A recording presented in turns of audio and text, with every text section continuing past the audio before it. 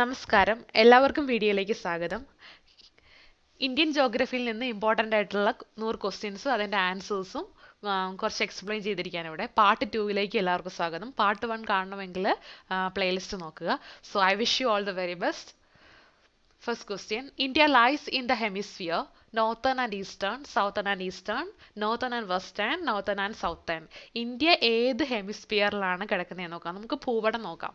ഇതാണ് ഇന്ത്യയുടെ ഭൂപടം. ഇന്ത്യയുടെ അല്ല വേൾഡ് മാപ്പാണ് ഇവിടെ. വേൾഡ് മാപ്പിൽ നമ്മൾ നോക്കുകയാണെങ്കിൽ ജനറൽ ആയിട്ട് പറയുകയാണെങ്കിൽ നടുക്കുള്ള വര. നടുക്കുള്ള വര എന്ന് പറഞ്ഞാൽ നമ്മുടെ ഇക്വേറ്റർ എന്ന് പറഞ്ഞാൽ നമ്മുടെ ഭൂമധ്യരേഖ അഥവാ ഇക്വേറ്റർ എന്ന് പറഞ്ഞ. മോൾ ഡയറക്ഷൻ പറയാനാണെങ്കിൽ മോൾ നോർത്ത് നോർത്ത് അതായത് തെക്ക് വടക്ക് ഭാഗം താഴെ എന്ന് പറയുന്ന സൗത്ത് അഥവാ തെക്ക് എന്ന് പറയും. ഓക്കെ ഇനി ഇടതുവശത്ത് എന്ന് പറയുന്ന വെസ്റ്റ് പടിഞ്ഞാറ് വലതുവശത്ത് എന്ന് പറയുമ്പോൾ ഈസ്റ്റ് കിഴക്കാണ്. ഓക്കെ ഇനി ഇന്ത്യ എവിടെയാണ്? ആ ഇന്ത്യ ഇത് ഇവിടെ ആയിട്ടാണ് വരുന്നത് അല്ലേ? ഇന്ത്യ ഇവിടെ ആയിട്ടാണ് വരുന്നത്. ഓക്കെ ഇനി നോക്കുകയാണെങ്കിൽ നമുക്ക് പറയാം. അപ്പോൾ ഇന്ത്യ എന്ന് പറയുന്നത് ഭൂപ നമ്മുടെ വേൾഡ് മാപ്പ് നോക്കുകയാണെങ്കിൽ ഇന്ത്യ തെക്ക് കിഴക്ക് വടക്ക് കിഴക്ക് ഭാഗത്തായിട്ടാണ്. അതായത് നോർത്തിനും ഈസ്റ്റേൺ ഹെമിസ്ഫിയറിൽ അതായത് തെക്ക് വടക്ക് കിഴക്ക് ഭാഗത്തായിട്ടാണ് ഇന്ത്യ ഉള്ളത്. അപ്പോൾ ഇന്ത്യ എന്ന് പറഞ്ഞാൽ ഏത് ഹെമിസ്ഫിയറിലാണ്? North eastern ഹെമിസ്ഫിയറിലാണ്. ഈ ഭാഗത്തല്ല. ഈ ഭാഗം എന്ന് പറയുമ്പോൾ ആ വടക്ക് കിഴക്ക് ഭാഗമാണ് നമ്മുടെ ഫുള്ള് പറയുകയാണെങ്കിൽ അപ്പം ഇന്ത്യ എന്ന് പറയുന്നത് നോർത്ത് ആൻഡ് ഈസ്റ്റേൺ ഹെമിസ്ഫിയർ ആണ്. അപ്പോൾ ഓപ്ഷൻ എ ആണ് answer India lies in hemisphere northern and eastern hemisphere ഇനി കുറച്ച് ഇമ്പോർട്ടന്റ് ആയിട്ടുള്ള കുറച്ച് കാര്യങ്ങൾ കൂടെ പറയാം. ഇമ്പോർട്ടന്റ് ആയിട്ടുള്ള. അതായത് ഇന്ത്യ ഇത് ഇത് നമ്മുടെ ഭൂമധ്യരേഖ എന്ന് പറയുന്നത് ഭൂമധ്യരേഖ നമ്മൾ എഴുതുന്ന ഇക്വേറ്റർ സീറോ ഡിഗ്രി വെച്ചിട്ടാണ് പറയുന്നത് കേട്ടോ. സീറോ ഡിഗ്രിയാണ് ഭൂമധ്യരേഖ. നമ്മൾ ഇങ്ങനെ ഈ ഭൂമധ്യരേഖയ്ക്ക് പാരലായിട്ട് കുറേ ലൈൻസ് വരയ്ക്കും.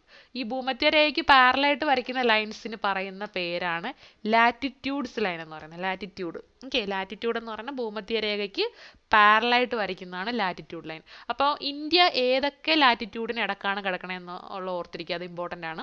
ഇപ്പോൾ ഇവിടെ നോക്കുകയാണെങ്കിൽ ഇത് സീറോ ആണെന്ന് പറഞ്ഞു. ഇത് ഇക്വേറ്റർ സീറോ ആണ്. അപ്പോൾ ഇന്ത്യ എവിടെയാണ് വരുന്നത് അപ്പോൾ ഇന്ത്യ ഒരു ഇച്ചിരി മുകളിൽ സീറോയിന് ഇച്ചിരി മുകളിൽ എന്ന് പറഞ്ഞപ്പോൾ ഏകദേശം ഒരു എട്ട് ഡിഗ്രി എട്ട് ഡിഗ്രിയുടെ അവിടെയാണ് ഇന്ത്യ വരുന്നത്. അത് എട്ട് ഡിഗ്രി തൊട്ട് ഇത് ഇരുപത്തിമൂന്നാണ് ഡിഗ്രി ഇരുപത്തിമൂന്ന് ഡിഗ്രിയാണ് അപ്പോൾ അതിന്റെ തൊട്ട് മുകളെന്ന് പറയുമ്പോഴത്തേക്കും ഏകദേശം ഇവിടെ അതായത് ഒരു മുപ്പത്തി ഒരു മുപ്പത്തിയേഴ് ഡിഗ്രി വരും. മുപ്പത്തിയേഴ് ഡിഗ്രിക്കും എട്ട് ഡിഗ്രിക്കും ഇടയിലായിട്ടാണ് ഇന്ത്യ കിടക്കുന്നത്. ഇത് ലാറ്റിറ്റ്യൂഡാണ് ലാറ്റിറ്റ്യൂഡ് എന്ന് പറഞ്ഞാൽ ഞാൻ പറഞ്ഞു ഇക്വേറ്ററിന് പാരലായിട്ട് വരയ്ക്കുന്നതാണ് ലാറ്റിറ്റ്യൂഡ് അപ്പോൾ ലാറ്റിറ്റ്യൂഡ് എപ്പോഴും നമ്മൾ നമ്മളിത് മുകളിലല്ലേ? ഇന്ത്യ എന്ന് പറയുമ്പം ഈ ഇക്വേറ്ററിന് മുകളിലാണുള്ളത്. മുകളിലായതുകൊണ്ട് നമ്മൾ നോർത്താണ് അല്ലേ?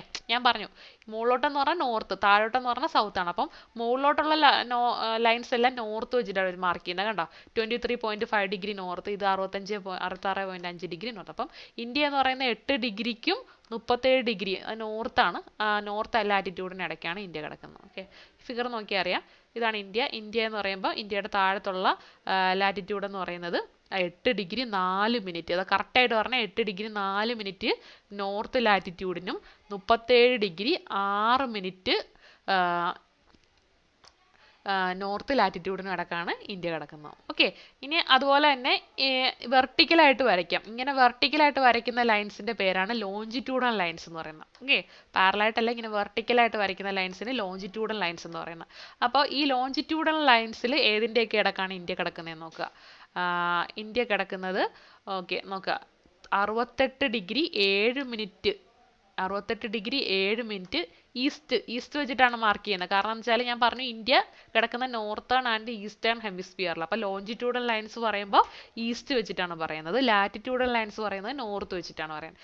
അപ്പം അറുപത്തെട്ട് ഡിഗ്രി ഏഴ് മിനിറ്റ് ഈസ്റ്റിനും തൊണ്ണൂറ്റിയേഴ് ഡിഗ്രി ഇരുപത്തഞ്ച് മിനിറ്റ് ഈസ്റ്റിന് ഇടക്കുള്ള ലോഞ്ചിറ്റ്യൂഡ്സിന് ഇടക്കാണ് ഇന്ത്യ കിടക്കുന്നത്. അപ്പോൾ ഇന്ത്യ കിടക്കുന്നത് ആ ഒന്നുകൂടെ പറയാം. എട്ട് ഡിഗ്രി നാല് മിനിറ്റ് അതുപോലെ മുപ്പത്തേഴ് ഡിഗ്രി ആറ് മിനിറ്റ് നോർത്ത് ആയിട്ടുള്ള ലാറ്റിറ്റ്യൂഡ്സിനിടയ്ക്കും അറുപത്തെട്ട് ഡിഗ്രി ഏഴ് മിനിറ്റ് ഈസ്റ്റും തൊണ്ണൂറ്റേഴ് ഡിഗ്രി ഇരുപത്തഞ്ച് മിനിറ്റ് ഈസ്റ്റും ആയിട്ടുള്ള ലോഞ്ചിറ്റ്യൂഡ്സിനും ഇടക്കാണ് ഇന്ത്യ കിടക്കുന്നത്. അതാണ് ഇന്ത്യയുടെ പൊസിഷൻ ഓക്കെ അപ്പോൾ ഞാൻ പറഞ്ഞു പാരലായിട്ട് വരയ്ക്കുന്നത് ലാറ്റിറ്റ്യൂഡ്സ് ഇങ്ങനെ പെർപ്പൻഡിക്കുലായിട്ട് വരയ്ക്കുന്നത് ലോഞ്ചിറ്റ്യൂഡ്സ് ഇനി ഈ ലാറ്റിറ്റ്യൂഡ്സ് നോക്കുകയാണെങ്കിൽ ഈ സീറോ ഡിഗ്രി കഴിഞ്ഞാൽ പിന്നെ അടുത്ത ഇമ്പോർട്ടന്റ് ആയിട്ടുള്ള ലാറ്റിറ്റ്യൂഡ് എന്ന് പറഞ്ഞാൽ ഇരുപത്തിമൂന്നര ഡിഗ്രിയാണ് അത് മുകളിലോ മുകളിലും ഉണ്ട് ഇരുപത്തിമൂന്നര ഡിഗ്രി താഴെയും ഉണ്ട് ഇരുപത്തിമൂന്നര ഡിഗ്രി ഈ ഇതിന് പറയുന്ന പേരാണ് ട്രോപ്പിക് ഓഫ് ക്യാൻസർ മുകളിലത്തെ ഇരുപത്തിമൂന്നര ഡിഗ്രിക്ക് പറയുന്ന ആ ലൈന്റെ പേരാണ് ട്രോപ്പിക് ഓഫ് ക്യാൻസർ ഈ ട്രോപ്പിക് ഓഫ് ക്യാൻസർ ഇങ്ങനെ പാസ് ചെയ്ത് ഇന്ത്യയുടെ നടുക്കൂടെയാണ് പോകുന്നത്.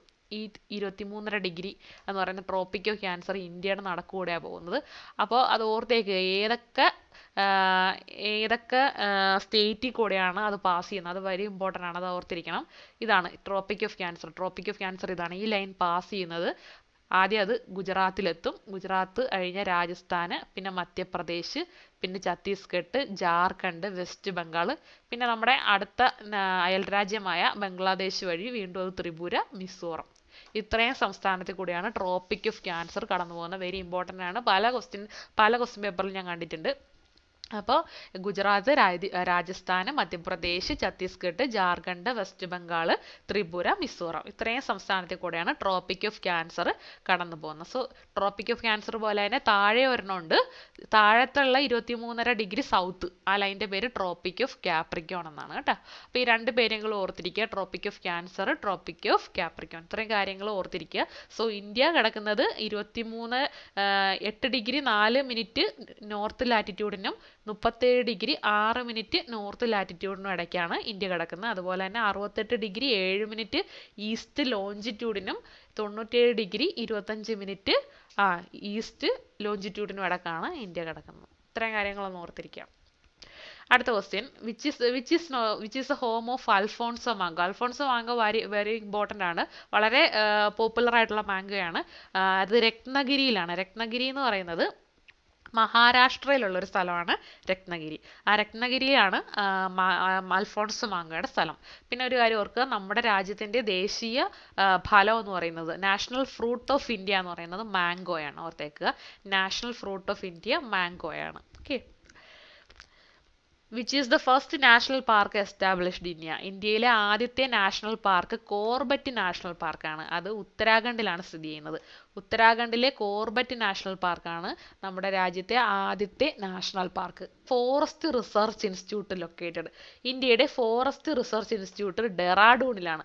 ഡെറാഡൂണും ഉത്തരാഖണ്ഡിലുള്ള ഒരു സ്ഥലമാണ്. ഉത്തരാഖണ്ഡ് സ്ഥ- സംസ്ഥാനത്തുള്ള ഒരു സ്ഥലമാണ് ഡെറാഡൂൺ ഡെറാഡൂണിലാണ് നമ്മുടെ ഫോറസ്റ്റ് റിസർച്ച് ഇൻസ്റ്റിറ്റ്യൂട്ട് സ്ഥിതി ചെയ്യുന്നത്. Which among the following state or union territory has O identified tribal community community? Bio-identified tribal community എന്ന് പറഞ്ഞാൽ ട്രൈബൽ കമ്മ്യൂണിറ്റി എന്ന് പറഞ്ഞാൽ ആദിവാസി സമൂഹമാണ്. അത് ബിയോ എന്ന് പറയുന്ന അവർ സംസാരിക്കുന്ന ഒരു ഭാഷയുടെ പേരാണ് ബിയോ എന്ന് പറയുന്നത്. അപ്പോൾ അത് ചില സ്ഥലങ്ങളിൽ മാത്രമേ ആ പ്രത്യേക ആദിവാസി സമൂഹങ്ങൾ കണ്ടെത്തിയിട്ടുള്ളൂ. അത് ഇവിടെയുള്ള ഉത്തർപ്രദേശ് ഒറീസ ആന്ധ്രാപ്രദേശ് ഡൽഹിയാണ് ഇവിടുത്തെ ആൻസർ. ഡൽഹിയിലാണ് അത് ഉള്ളത്. ഡൽഹി ഒരു നമ്മുടെ ഇന്ത്യയുടെ national ടെറിട്ടറിയാണ്. One of the union territory of India ആണ് ഡൽഹി എന്ന് പറയുന്നത്. അടുത്ത question Duncan passage is located in between south and little Andaman north and south Andaman north and middle Andaman Andaman and Nicobar അപ്പോൾ ഡങ്കൺ പാസേജ് എവിടെയെന്നാണ് ചോദ്യം. Duncan passage പറയുകയാണെങ്കിൽ ആൻഡമാനെ കുറിച്ച് പറയാം. ഇത് നമ്മുടെ ഇന്ത്യയുടെ മാപ്പ് ഇതാണെങ്കിൽ നമുക്ക് ഇവിടെ ഇന്ത്യയിൽ ഇന്ത്യയുടെ വലതുഭാഗത്ത് അതായത് നമ്മുടെ ഇന്ത്യയുടെ കിഴക്ക് ഭാഗത്തുള്ള കടൽ എന്ന് പറയുന്നത് ബംഗാൾ ഉൾക്കടലാണ്. ബംഗാൾ ഉൾക്കടലിലുള്ള ഒരു ദ്വീപ സമൂഹമാണ് ആൻഡമാൻ നിക്കോബാർ ഐലൻഡ്സ് ഇത് ഇന്ത്യയുടെ ഭാഗം തന്നെയാണ്. ആൻഡമാൻ നിക്കോബാർ ഐലൻഡ്സ് അത് ബ്രിട്ടീഷ് ബ്രിട്ടീഷുകാരുടെ കയ്യിലായിരുന്നു. അത് കഴിഞ്ഞ് നമ്മൾ ഇന്ത്യ ഇന്ത്യയ്ക്ക് അത് കിട്ടിയപ്പോൾ അത് നമ്മൾ നാഷണൽ യൂണിയൻ ടെറിട്ടറി ആയിട്ടാണ് നമ്മൾ ഇതിനെ എടുത്തിരിക്കുന്നത്. നമ്മുടെ ഒരു നമുക്ക് ഏഴ് യൂണിയൻ ടെറിട്ടറീസ് ആണ് ഇന്ത്യക്കുള്ളത്. അതായത് തദ്ദേശ സ്വയംഭരണ സ്ഥാപനങ്ങൾ ഏഴെണ്ണാണുള്ളത് ഒന്നാമത്തത് നമ്മുടെ ലക്ഷദ്വീപ്. ലക്ഷദ്വീപ് എന്ന് പറയുന്ന ആൻഡമാൻ ഇവിടെ നമ്മുടെ കേരളത്തിന് പാരലായിട്ട് കിടക്കുന്ന ഇതാണ് ലക്ഷദ്വീപ് എന്ന് പറയുന്നത്. അതായത് നമ്മുടെ അറബിക്കടലിലുള്ള ഒരേ ഒരു തദ്ദേശ സ്വയംഭരണ സ്ഥാപനം എന്ന് പറയുന്നത് ലക്ഷദ്വീപാണ്. ഓക്കെ? ലക്ഷദ്വീപ് എന്ന് പറഞ്ഞാൽ കേരളത്തിൽ അവിടെയുള്ള ആൾക്കാരൊക്കെ സംസാരിക്കുന്നതൊക്കെ മലയാളമാണ്. കവരത്തിയാണ് അതിന്റെ തലസ്ഥാനം. ഇത് ഇതാണ് ഒരു യൂണിയൻ ടെറിട്ടറി. പിന്നെ ഉള്ളതെന്ന് പറഞ്ഞാൽ ദദ്ര ആൻഡ് നാഗർ ഹവേലി ഉണ്ട്. പിന്നെ പിന്നെ ഉള്ളത് Dadra and Nagar Haveli Daman and Diu Daman and Diu അത് വേറൊരു തദ്ദേശ സ്വയംഭരണ സ്വയംഭരണ സ്ഥാപനമാണ്. പിന്നെ നമ്മുടെ പോണ്ട് പോണ്ടിച്ചേരി അഥവാ പുതുച്ചേരി തമിഴ്നാട്ടിൽ അതിന്റെ ഭാഗം തന്നെയാണ് നമ്മുടെ കേരളത്തിലെ കേരളം ഇവിടെ വരും. കേരളത്തിലെ മാഹി എന്ന് പറയുന്നതും ഈ പോണ്ടിച്ചേരിയുടെ ഭാഗം തന്നെയാണ്. അതും ഒരു യൂണിയൻ ടെറിട്ടറിയാണ്. പിന്നെ ഉള്ളതെന്ന് പറയുന്നത് ആ, ഡൽഹി നമ്മുടെ യൂണിയൻ ടെറിട്ടറിയാണ് ഒരു യൂണിയൻ ടെറിട്ടറി ഇത്ര ഏഴ് യൂണിയൻ ടെറിട്ടറീസ് ആണ് നമുക്ക് ഇന്ത്യക്കുള്ളത്. അതിൽ പെട്ട ഒരെണ്ണമാണ് ഈ ആൻഡമാൻ നിക്കോബർ. ഇപ്പം ഈ ആൻഡമാൻ നിക്കോബർ ഐലൻഡ് എന്ന് പറയുന്നത് ആ ഒരു കുറേ ദ്വീപസമൂഹമായിട്ടാണ് വരുന്നത് അല്ലേ? ഈ ദ്വീപസമൂഹത്തിൽ ഏറ്റവും വലുതായിട്ടുള്ള ഒരു ഒരു ഐലൻഡാണ് സൗത്ത് ആൻഡമാൻ എന്ന് പറയുന്നത്. ഓക്കെ സൗത്ത് ആൻഡമാൻ അതുപോലെയുള്ള ഒരു താഴെയുള്ള ഒരു വലിയ ഐലൻഡാണ് ലിറ്റിൽ ആൻഡമാൻ എന്ന് പറയുന്നത് ഇത് തമ്മിൽ ഉള്ള അതിന്റെ ഇടക്കുള്ള കടലിടുക്കിനാണ് ഡങ്കൺ പാസേജ് എന്ന് പറയുന്നത്. Okay so answer option A ആണ്. സൗത്ത് ആൻഡമാനും ലിറ്റിൽ ആൻഡമാനും ഇടക്കാണ് ഡങ്കൺ പാസേജ് ഉള്ളത്. Match the dam and rivers across across which these have been constructed കുറേ ഡാം പറയുന്നുണ്ട് കുറേ റിവേഴ്സ് നദികൾ പറയുന്നുണ്ട്. ഏത് നദിയിലാണ് ഈ ഡാമുകൾ കെട്ടിയിരിക്കുക? ആദ്യത്തെ നോക്കുക. ഇവിടെ ഫറാക്ക തെഹരി തീ നാഗാർജുന ഇപ്പുറത്ത് കൃഷ്ണ രവി ഗംഗ ഭാഗീരഥി. ഫറാക്ക നോക്കുക. ഫറാക്ക എവിടെയുള്ളതാണ്? ആ ഫറാക്ക ഗംഗാ നദിയിലുള്ളതാണ് ഫറാക്ക ഡാം ഗംഗാ നദി. അത് വെസ്റ്റ് ബംഗാളിലുള്ള ഒരു അണക്കെട്ടാണ് ഫറാക്ക എന്ന് പറയുന്നത്. അത് ഗംഗാ നദിയിലാണ് ഉണ്ടാക്കിയിരിക്കുന്നത്. പിന്നെ തെഹരി. തെഹരി ഡാമിന്റെ പ്രത്യേകത എന്താ? നമ്മുടെ രാജ്യത്തെ ഏറ്റവും ഉയരം കൂടിയ അണക്കെട്ട് എന്ന് പറയുന്നത് തെഹരി ഡാമാണ് അത് ഭാഗീരഥി നദിയിലാണ് അത് ഉണ്ടാക്കിയിരിക്കുന്നത്.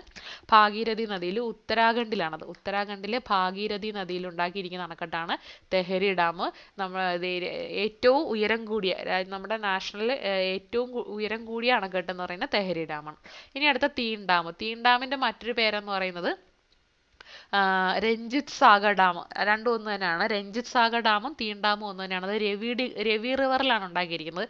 അത് എന്ന് പറയുന്നത് പഞ്ചാബിലായിട്ട് വരും. അതായത് പഞ്ചാബും അതുപോലെ തന്നെ ജമ്മു കാശ്മീരും കൂടെ രണ്ടുപേരുടെയും ബോർഡറിലായിട്ടാണ് അവർ ഈ ഈ പ്രൊജക്റ്റ് ഉണ്ടാക്കിയിരിക്കുന്നത്. അതി- രവി റിവറിലാണ്. രവി റിവർ എന്ന് പറഞ്ഞാൽ ഏതാണ്? ആ രവി എന്ന് പറയുന്നത് നമ്മുടെ അതായത് ഇൻഡസ് നദിയുടെ ഒരു ട്രിബ്യൂട്ടറിയാണ് രവി എന്ന് പറയുന്നത്. ഇൻഡസ് ഇൻഡസ് നദിയുടെ ഒരു ട്രിബ്യൂട്ടറി ആണ് രവി സത്ലജ് രവി അതെല്ലാം ഒരുമിച്ചാണ് വരുന്നത്. ഓക്കെ പിന്നെയുള്ള അവസാനത്തെ നാഗാർജുന. നാഗാർജുന എന്ന് പറയുന്നത് കൃഷ്ണ നദിയിലാണ് ഉണ്ടാക്കിയിരിക്കുന്നത്. കൃഷ്ണ നദിയിൽ അത് തെലുങ്കാന നേരത്തെ ആന്ധ്രാപ്രദേശ് ആയിരുന്നു ഇപ്പൊ തെലുങ്കാനയുടെ ഭാഗമാണ്. അവിടെയാണ് നാഗാർജുന ഡാം സ്ഥിതി ചെയ്യുന്നത്. അപ്പോൾ ആൻസർ ഓപ്ഷൻ സി ആണ് ഇവിടെ. ഓക്കെ അടുത്ത question in which of the state in which state is Guru Shikhar peak located Guru Shikhar peak എന്താന്ന് നോക്കാം. ഗുരു ഷിഗർ പീക്കിനെ പറ്റി പറയുകയാണെങ്കിൽ ആരവല്ലി പർവതനിര എന്താണെന്ന് അറിയണം. ആരവല്ലി എന്ന് പറയുന്നത് ഇവിടെ കിടക്കുന്ന ഇതാണ് നമ്മുടെ ആരവല്ലി പർവതനിര.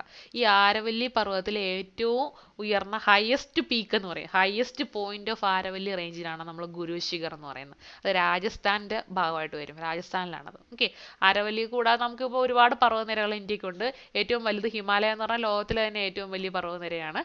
പിന്നെ നമുക്ക് വിന്ധ്യ ഉണ്ട്. ഇവിടെ വിന്ധ്യ ഇത് സത്പുര. ഈ വിന്ധ്യയ്ക്ക് സത്പുര ഇത് ഇമ്പോർട്ടന്റ് ആണ്. ഇതിന്റെ ഇടയ്ക്കുള്ള ഒരു നദിയാണ് നർമ്മദ. നർമ്മദ എന്ന് പറയുന്നത് വിന്ധ്യ സത്പുരയ്ക്ക് ഇടയ്ക്കൂടെ ഒഴുകുന്ന നദിയാണ്. അതിന്റെ താഴെ ഒഴുകുന്ന നദിയാണ് താപ്തി എന്ന് പറയുന്നത്. പിന്നെ നമുക്ക് നമ്മുടെ പശ്ചിമഘട്ടം നമ്മുടെ കേരളത്തിലെ ഏറ്റവും പ്രധാനപ്പെട്ട സാധനമാണ് പശ്ചിമഘട്ടം അത് ഓർത്തിരിക്കുക. പിന്നെയുള്ള പർവതമാണ് ഈസ്റ്റേൺ ഘട്ടമുണ്ട് ഈസ്റ്റേൺ ഘട്ടമുണ്ട് പിന്നെ ഇത് ചോട്ടാനാഗ് കോർപ്പറേറ്റ് പിന്നെ നദികൾ ഇത് ഗംഗാ നദി ഇത് ബ്രഹ്മപുത്ര നദി. നദികളെല്ലാം ഇമ്പോർട്ടന്റ് ആണ് അതെല്ലാം പഠിക്കുക. അപ്പോൾ നമ്മുടെ പറഞ്ഞു വന്ന ആരവല്ലിയാണ്. ആരവല്ലി ഏറ്റവും പഴക്കമേറിയ പർവതനിര ആരവല്ലിയാണ്. ഇന്ത്യയിലെ ഏറ്റവും പഴക്കമേറിയ മൗണ്ടെയിൻ അഥവാ പർവതം എന്ന് പറയുന്നതും ആരവല്ലി തന്നെയാണ്. ആരവല്ലിയുടെ ഏറ്റവും വലിയ പോയിന്റ് ആണ് ഗുരുശിഖർ ഗുരുശിഖർ എന്ന് പറഞ്ഞാൽ ഹയസ്റ്റ് പോയിന്റ് ഓഫ് ആരവല്ലിക്കാണ് ഗുരുശിഖർ എന്ന് പറയുന്നത്. അത് രാജസ്ഥാനിലാണ് ഉള്ളത് so answer option A Rajasthan. അടുത്ത question Idukki hydro hydro electric plant is in the river Periyar. നമുക്കറിയാം കേരളത്തിലെ Periyar റിവറിലാണ് Idukki hydro electric plant. So answer is option C Periyar. In which of the following state is the child sex ratio the lowest in India? Child sex ratio എന്ന് പറയുന്നത് അതായത് സ്ത്രീ പെൺകുട്ടികൾ പെൺകുട്ടികൾ ഇത്ര ആയിരം ആൺകുട്ടികൾക്ക് എത്ര പെൺകുട്ടികൾ അതാണ് അത് ഹരിയാനയിലാണ് ഏറ്റവും കുറവ്. ഏറ്റവും കുറവ് ഹരിയാനയിലാണ്. ഇനി which of the following cities in India is considered greenest ഏറ്റവും ഹരിതമായ സംസ്ഥാനം എന്ന് പറയുന്നത് ഹരിത സംസ്ഥാനം എന്ന് പറഞ്ഞാൽ ചണ്ഡീഗഡ് ആണ് അതായത് ചണ്ഡീഗഡ് എന്ന് പറയുന്നത് ഇന്ത്യയുടെ വേറൊരു യൂണിയൻ ടെറിട്ടറിയാണ്. ഞാൻ നേരത്തെ പറഞ്ഞായിരുന്നു യൂണിയൻ ടെറിട്ടറീസ് ഏഴ് ഏഴ് യൂണിയൻ ടെറിട്ടറീസ് ആണുള്ളത്. അതായത് നമുക്ക് ചണ്ഡീഗഡ് ഉണ്ട് ഡൽഹി ഉണ്ട് ലക്ഷദ്വീപ് ആൻഡമാൻ നിക്കോബർ പോണ്ടിച്ചേരി ദദ്ര ആൻഡ് നാഗർ ഹവേലി ഡമാൻ ആൻഡ് ഡ്യൂ. അങ്ങനെ ഏഴ് യൂണിയൻ ടെറിട്ടറീസ് ആണുള്ളത്.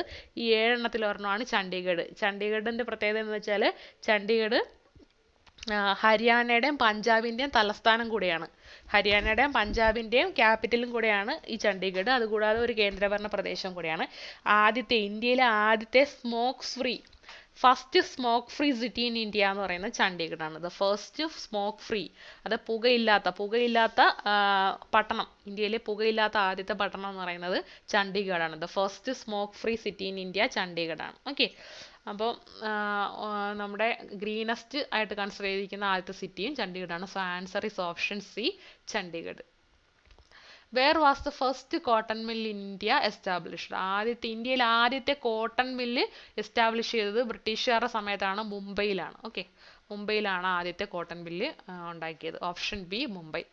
അടുത്ത question for which of the which type of the fertiliser India is fully dependent on impo on imports potash ഫെർട്ടിലൈസറിലാണ് നമ്മൾ കൂടുതൽ ഇമ്പോർട്ട് ചെയ്യുന്നത്. Okay potash fertiliser the monazite sand on Kerala coast used for generating nuclear energy contains ആ യുറേനിയാണ് ഏറ്റവും കേരളത്തിന്റെ തീരത്തുള്ള മോണസൈഡ് sandal ഏറ്റവും അത് യൂസ് ചെയ്യുന്നതെന്ന് വെച്ചാൽ യുറേനിയമാണ് okay answer option C uranium Delhi gets winter rainfall due to ഡൽഹിയിൽ ശൈത്യകാലത്ത് മഴ ശൈ വിന്റർ റെയിൻഫോൾ കിട്ടുന്നത് വെസ്റ്റേൺ ഡിസ്റ്റർബൻസ് മൂലമാണ്. Western disturbances answer is option D western disturbance അടുത്ത question the typical natural vegetation above three thousand six hundred metres on Himalaya is അതായത് മൂവായിരത്തി അറുന്നൂറിന് മീറ്ററിന് മുകളിലുള്ള അവിടുത്തെ നാച്ചുറൽ ആയിട്ടുള്ള വെജിറ്റേഷൻ എന്ന് പറയുന്നത് ആൽപിൻ ഗ്രാസ് ലാൻഡ് ആണ്. ആൽപിൻ ഗ്രാസ് ലാൻഡ് ആണ് ത്രീ തൗസൻഡ് സിക്സ് ഹൺഡ്രഡ് മീറ്ററിന് മുകളിലുള്ള വെജിറ്റേഷൻ എന്ന് പറയുന്നത് so answer is option A alpine grass land അത് alpine പുൽമേടുകളാണ് answer the burst of monsoons in the month of June brings rain to അതായത് June മാസം monsoon മഴ ലഭിക്കുന്ന എവിടെയൊക്കെയാണ് കേരളത്തിലും നമ്മുടെ തമിഴ്നാടിന്റെ തീരത്തുമാണ് ഈ മൺസൂൺ ജൂൺ മൺസൂണിൽ നമുക്ക് മഴ കിട്ടുന്നത്. Okay so Kerala and southern coast of തമിഴ്നാടാണ് answer the burst of monsoon in the month of June brings rain to Kerala and southern coast of Tamil Nadu The northern part of the west coast is known as Coromandel coast Malabar coast Konkan coast northern coast ഇപ്പൊ ഇന്ത്യയിലെ തീരങ്ങൾ ഏതൊക്കെയാണെന്ന് നോക്കുക? ഇതാണ് ഇന്ത്യയുടെ തീരഭാഗം എന്ന് പറഞ്ഞാൽ ഗുജറാത്ത് മുതൽ ഇങ്ങോട്ട് മഹാരാഷ്ട്ര ഗോവ കർണാടക കർണാടക കഴിഞ്ഞിട്ട് കേരള പിന്നെ തമിഴ് കേരള പിന്നെ തമിഴ്നാട് പിന്നെ ആന്ധ്രാപ്രദേശ് തെലുങ്കാന പിന്നെ ഒറീസ പിന്നെ ഇങ്ങോട്ട് വന്നു കഴിഞ്ഞാൽ ആ ബംഗാളിന്റെ തീരം വരെ. ഇത്രയാണ് നമുക്ക് തീരങ്ങളുള്ളത്. ഓക്കെ? അപ്പോൾ ആദ്യം പറയാനാണെങ്കിൽ ഇവിടെ. ഈ മഹാരാഷ്ട്ര മുതൽ ഇങ്ങോട്ട് ഈ നമ്മൾ തീരം കോസ്റ്റ് പറയുന്നത് ഇങ്ങനെയാണ്. കൊങ്കൺ കോസ്റ്റ് ആണ് ആദ്യം പറയുന്നത്. കൊങ്കൺ കോസ്റ്റ് എന്ന് പറയുന്നത് ഈ മഹാരാഷ്ട്രയുടെ ഗോവയുടെ തീരത്തിനാണ് കൊങ്കൺ കോസ്റ്റ് എന്ന് പറയുന്നത്. ഓക്കെ പിന്നെ നമുക്ക് വരുന്നത് കർണാടകയും കേരളയും കൂടെ ചേർന്നിട്ട് അത് മലബാർ കോസ്റ്റ് എന്ന് പറയും. ഓക്കെ കർണാടകയും കേരളയും കൂടെ മലബാർ കോസ്റ്റ് വരും. പിന്നെ ഇവിടെ തമിഴ്നാട് കോസ്റ്റ് ഉണ്ട്. തമിഴ്നാട് കോസ്റ്റ് കോറമണ്ടൽ കോസ്റ്റ് എന്ന് പറയും. കോറമണ്ടൽ കോസ്റ്റ് എന്ന് പറഞ്ഞാൽ തമിഴ്നാടിന്റെ ആന്ധ്രാപ്രദേശ് കോസ്റ്റിനും കൂടെ ഒരുമിച്ചാണ് നമ്മൾ കോറമണ്ടൽ കോസ്റ്റ് എന്ന് പറയുന്നത്. പിന്നെ കോറമണ്ടൽ കോസ്റ്റ് കഴിഞ്ഞാൽ പിന്നെ ഉള്ളത് ഇവിടെ നമ്മുടെ ഒറീസയുടെ ഭാഗത്ത്. ഒറീസയുടെ ഭാഗത്തുള്ള ഒറീസയുടെ ഭാഗ തീരത്തിന് പറയുന്നത് ഉത്കൽ കോസ്റ്റ് എന്നാണ് ഒറീസയുടെ തീരത്തിന് പറയുന്നത് ഉത്കൽ തീരം എന്നാണ് പറയുന്നത്. ഉത്കൽ കോസ്റ്റ് ഇത്രയും തീരങ്ങളാണുള്ളത്. നമ്മുടെ ക്വസ്റ്റ്യന്റെ അകത്ത് പറഞ്ഞിരിക്കുന്ന northern part of west coast എന്ന് പറഞ്ഞാൽ പടിഞ്ഞാറേ തീരത്തിന്റെ പടിഞ്ഞാറേ തീരത്തിന്റെ വടക്ക് ഭാഗം വടക്ക് പടിഞ്ഞാറ് തീരത്തിന്റെ വടക്ക് ഭാഗം എന്ന് പറയുന്നത് കൊങ്കൺ കോസ്റ്റ് ആണ്. ഇതാണ് നമ്മുടെ പടിഞ്ഞാറ് ഭാഗം. ഇതല്ലേ പടിഞ്ഞാറ് വെസ്റ്റേൺ എന്ന് പറഞ്ഞാൽ ഇവിടെയാണ്. ഇതിന്റെ പടിഞ്ഞാറ് ഭാഗത്തിലെ പടിഞ്ഞാറ് തീരത്തിലെ തെക്ക് ഭാഗത്തുള്ള തീരം എന്ന് പറയുന്നത് കൊങ്കൺ കോസ്റ്റ് ആണ്. ഓക്കെ രണ്ട് കോസ്റ്റ് ആണ് പടിഞ്ഞാറ് ഭാഗത്തുള്ളത്. ഒന്ന് കൊങ്കൺ കോസ്റ്റ് ഒന്ന് മലബാർ കോസ്റ്റ് മലബാർ കോസ്റ്റ് താഴെയാണ് നമ്മുടെ കേരളത്തിന്റെ ഭാഗമാണ്. അപ്പോൾ മുകളിലുള്ളതാണ് Konkan coast so answer Konkan coast ആണ്. The northern part of west coast is known as Konkan coast okay answer is option C Konkan coast ബാക്കിയുള്ള കോസ്റ്റുകൾ ഈ കോറമണ്ടൽ കോസ്റ്റ് ഒക്കെ ഇടയ്ക്ക് ചോദിക്കാറുള്ളതാണ്. തമിഴ്നാടിന്റെ ആന്ധ്രാപ്രദേശിന്റെയും കുറച്ച് ഭാഗമായിട്ട് വരുന്നതാണ് കോ കോറമണ്ടൽ കോസ്റ്റ് ഓക്കെ നമ്മുടെ ഇന്ത്യയും പാകിസ്ഥാനും ഇന്ത്യയും ശ്രീലങ്കയും ഇടയ്ക്കുള്ള പാക് ഉൾക്കടലൊക്കെ വരുന്നത് ആ ഭാഗമൊക്കെ വരുന്നത് ഈ കോറമണ്ടൽ കോസ്റ്റിന്റെ ഇടയ്ക്കാണ് വരുന്നത്. ഓക്കെ ഇത്രയും കാര്യങ്ങൾ ഓർത്തിരിക്കുക. So thank you for watching. ഈ വീഡിയോ നിങ്ങൾക്ക് ഇഷ്ടപ്പെട്ടെങ്കിൽ നിങ്ങൾക്ക് ലൈക്ക് ചെയ്യാം കൂട്ടുകാർക്ക് ഷെയർ ചെയ്ത് കൊടുക്കാം. ഇനി ജനറൽ നോളജ് അതുപോലെ തന്നെ ഇംഗ്ലീഷ് ഗ്രാമർ പിന്നെ മാത്തമാറ്റിക്സ് ട്രിക്കുകൾ അതിൽ നിന്നുള്ള വീഡിയോ ഒക്കെ കാണണമെങ്കിൽ ചാനൽ സബ്സ്ക്രൈബ് ചെയ്യുക. P S C bank winner plus എന്നാണ്. എന്തെങ്കിലും ഡൗട്ട്സ് ഉണ്ടെങ്കിൽ നിങ്ങൾക്ക് കമന്റ് സെക്ഷനിൽ കമന്റ് ചെയ്യാവുന്നതാണ്. So I will try to answer the comment so watch all videos. Wish you all the very best. Thank you.